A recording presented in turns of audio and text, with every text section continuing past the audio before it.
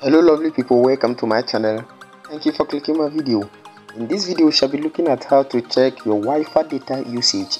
Yes this time around we shall be looking at the wi-fi data usage of your connected wi-fi and also to see the apps which is consuming your wi-fi that you have connected to. So i will need you to pay attention and follow me step by step.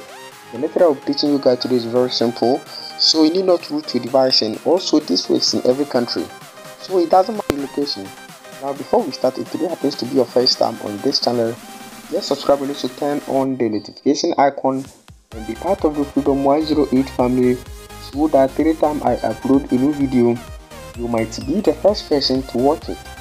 Now without wasting much time let's get started. Now in the first place all you need to do is to open your phone settings now once you open your phone settings you can see wi-fi. Just click on wi-fi. And now you can see i have connected to my wi-fi on my iphone. So all you need to do is to scroll down. And once you scroll down you can see wi-fi data usage. Just click on that.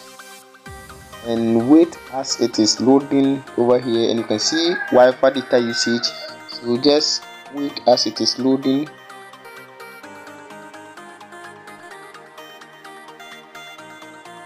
and now you can see over here you can see the apps which is consuming the wi-fi that i have connected to. You can see youtube. You can see my chrome my telegram my play store and also my whatsapp.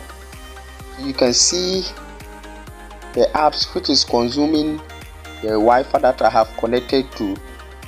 And you can see over here date over here. So once you click on this arrow you can i mean set the time that you want to so you can just change to november december. So you can just change it to the date and check how i mean you consume the connected wi-fi from your i mean devices. So you can see over here so you can set it to maybe november and then check how your wi-fi was consumed and the apps that was consuming your wi-fi so as you can see over here. So all you need to do is to check so you can just change the time or the date.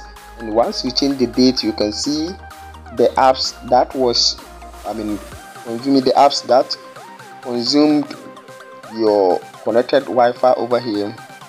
So with this you can see your wi-fi data usage i hope this video is very helpful. Thanks for watching. Don't forget to subscribe and also turn on the notification button so that anytime i upload a